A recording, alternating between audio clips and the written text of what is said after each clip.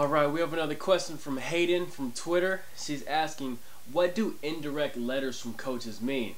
And uh, this is a great thing. You finally got an indirect letter. All it is is a coach says, "Dear, you know, student athlete, dear so and so, you know, we we heard about you. We we put you on our recruiting board."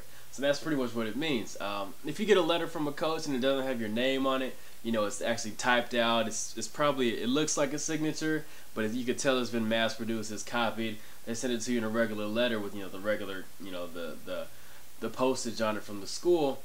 You, you know that you're you're in their sight, you're on their recruiting board. That means that whatever you did in high school or whatever you're doing in high school has gotten out. The word has gotten out about you. You might be in the local newspaper you might have just you know made some national recruiting site. You might have got four or five stars or something like that. You might have went to a combine or did a tournament and got your name out that way.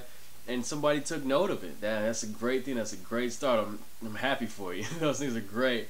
Um, but then again, it is an indirect letter. That means that they just said, you know, let's just throw these out to these, these student athletes and see what they do. So take the letter, you know, keep keep all your letters. You'll you'll want to look at them later in life. But um, an indirect letter is it's a good thing. Um, you you got it from a coach. You probably got it from a school that you really want to go to, probably a big school because they have a, a big budget and they can afford to do that. And uh, that just lets you know that you're on their you're in the radar.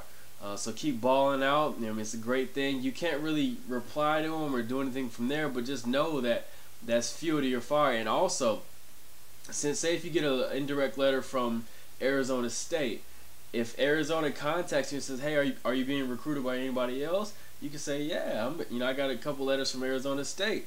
And then Arizona will think, "Oh wow, if Arizona State, you know, if Arizona's recruiting them, then I might want to, you know, hurry this thing up. Might want to offer us and get this, you know, get this student athlete off of the out of the you know, recruiting field, you know, and sign them to my school. So it's a great thing. You can use it as leverage with other uh, other schools and other coaches.